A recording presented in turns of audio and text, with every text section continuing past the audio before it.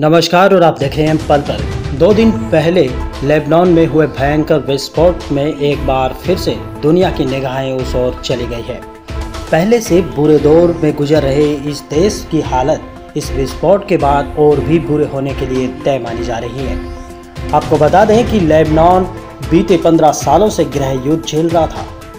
लेकिन अब इस भयानक विस्फोट से उसको और भी अधिक खराब स्थिति का सामना करना पड़ सकता है।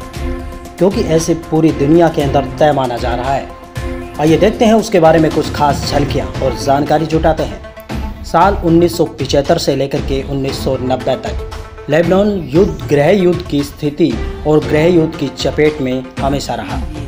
गृह युद्ध खत्म हो जाने के दो दशक बाद से भी अधिक समय तक सीरिया से सेनाएँ यहाँ पर रही और उन्होंने लगातार अपना प्रभुत्व बनाए रखा। जिसके बाद साल 2005 में लेबनान की तत्कालीन प्रधानमंत्री रफ़ीक हरीरी जिनकी हत्या हो गई। इसके बाद देश के राजनीतिक और आर्थिक इतिहास में एक बड़ा मोड़ आ गया। इसी साल 21 जनवरी को लेबनान में एक नई सरकार बनी। यह एक ही पार्टी की सरकार है, जिसमें हिजबुल्ला और उसके सहयोगी शामिल है और जो संसद में बहुमत में है।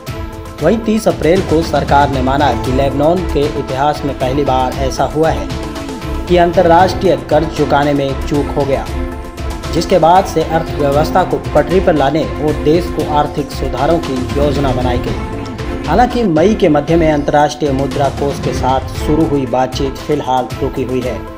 वहाँ पर लाखों लोग पहले से, यानी 35 फ़ीसदी लोग बेरोजगार भी हैं। लेबनान पर बावनवे अरब डॉलर का कर्ज है।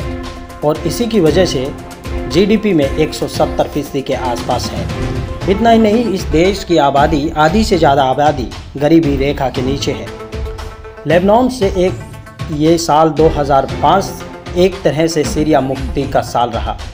लेबनान के प्रधानमंत्री रफ़ीक हरीरी के काफिले पर आत्मघाती बम से हमला किया गया था, जिसमें उन्हीं, उनके साथ 21 लोग और भी मारे गए थे। इसी हमले में विपक्ष ने सीरिया का साथ बताया। हालाँकि सीरिया इससे इनकार करता रहा, लेकिन अब इस देश में जो ये भयानक विस्फोट हुआ है, इससे हालात और बिगड़ने की कहानी बताई जा रही है। ये विस्फोट कैसे हुआ है, इसका अभी तक आधिकारिक तौर पर पता नहीं लग पाया। लेकिन आपको बता दें कि ये विस्फोट एकदम परमाणु हमले की तरह था, क्योंकि इससे भयानक ऊर्जा निकली, जिसका भयानक वीडियो भी वायरल हुआ। लेकिन जिस जगह ये विस्फोट हुआ, उस जगह हम आपको लेकर के चलेंगे। क्योंकि यहाँ से कुछ वायरल वीडियो सोशल मीडिया के माध्यम से हमारे हाथ आए हैं। कई बड़ी बिल्डिंगें यहाँ तबाह हो गई। सैकड़ों लोग मारे गए। बताया जा रहा है कि कई हज़ार लोग जख्मी भी हैं। आइए देखते हैं ये खास रिपोर्ट।